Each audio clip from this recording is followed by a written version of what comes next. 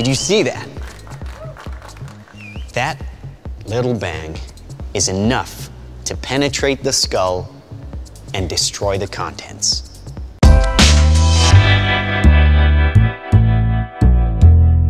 Did you see how a mini drone punctured through the skull of a mannequin? These little lethal autonomous weapon systems can be fully autonomous and can operate beyond human control. Worrisome, but that is true. Hello and welcome, my name is Noreen and you are watching National Defense. With incremental developments in artificial intelligence, possibility of developing such weapons is no more a fiction now.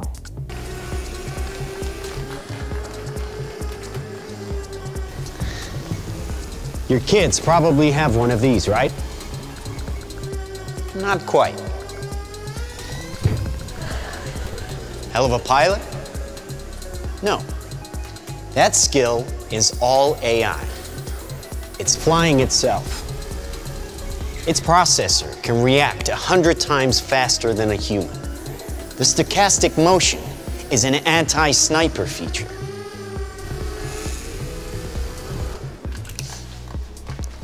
Just like any mobile device these days, it has cameras and sensors, and just like your phones and social media apps, it does facial recognition. Inside here is three grams of shaped explosive. They used to say guns don't kill people, people do, because soldiers or law enforcement agencies work under a set of rules and regulations. At times, they abort their mission, even at the last moment.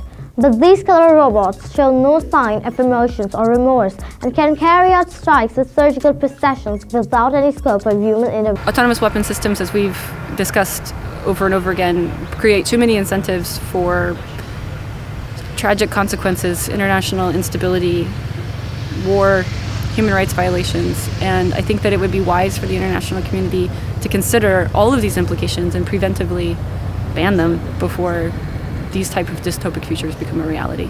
Killer robots can penetrate cars, buildings, trains, evade people, or even countermeasures. They can't be stopped. A $25 million order of such drones is not enough to kill half a city. Nuclear is obsolete. The drone technology take out enemies virtually risk-free without any collateral damage or damage to even infrastructures. It removes from any human control the power to control these machines. So we are creating monsters on the battlefield which can be out of control. Laws on lethal autonomous weapon systems are weapon systems that will select and attack targets without meaningful human control. Public concerns are mounting at the prospect of weapon systems that once activated would select and attack targets without further human intervention. So I think that that is something that we ought to really give pause to think about whether or not we want systems that are potentially problematic already in a civilian in a civilian system, armed in an armed, armed conflict. Some governments are running research programs to contribute to research on national defense incorporating artificial intelligence operating on principal projects such as AI-based command and decision system, and AI-based smart object tracking and recognition technology. Um, autonomous systems killing individuals or, or even autonomous systems as tiny little sensors engaged in mass surveillance. Um, there's so many different aspects to the problem of autonomous weapons that we have to consider holistically um, to see all of the different types of incentive structures and perverse features that could result. We are crossing a moral line. Autonomous weapons are in development.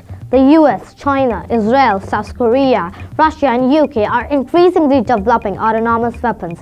If this trend towards autonomy continues, humans may fade out of the decision-making loop for certain military actions. No country would be safe from sudden overwhelming attacks. The fact that there is no human element in the control of the robot, meaningful human control is what is being talked about by a lot of the researchers and the experts on the subject. We've had uh, people in artificial intelligence throughout the world writing about this issue and protesting about this new development of weapons. Thousands of AI experts support the call to ban autonomous weapons. Nobel Peace laureates warn of a lower threshold for war. Religious organizations view fully autonomous weapons as an affront to humanity. Governments must act now before it's too late. With a coordinated effort, an international ban treaty can be negotiated by the end of 2019. Science is good, but is it not that any technology that puts human life or human race to extinction should be banned? Fully autonomous weapon systems that remove meaningful human control from the operation loop due to the risk of malfunctioning, potential accountability gap, and ethical concerns pose the same questions and draws attention of the humankind and ruling governments. If, if they aren't around, why is it hard to ban them? We aren't banning them because some states want them. And we have to be honest about that as well. And does the international community wish to do nothing and let that happen? Or is it time to really accept the moral and ethical issues involved in deciding to allow machines to kill humans? If you agree that such killer robots should be stopped and governments should ban development of such killer unintelligent robots by embedding artificial intelligence, do support Ban Killer Robots campaign by writing in the comments box in the video. If you like the video, do give it a thumbs up, share it and yes, don't forget to subscribe National Defense. Keep watching National Defense. Jai Hind.